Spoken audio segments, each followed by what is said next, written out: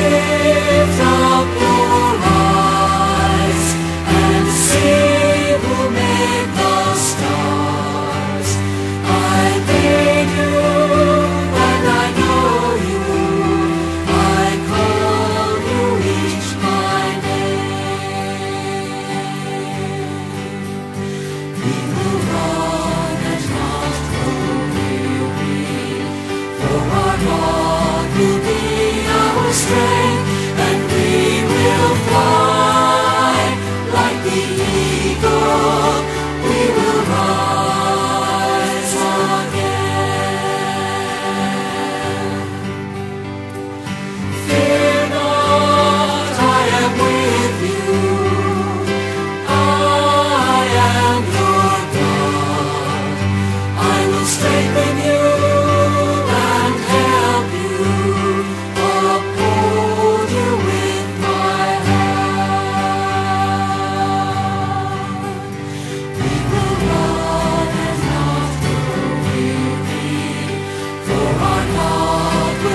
be our strength, and we will.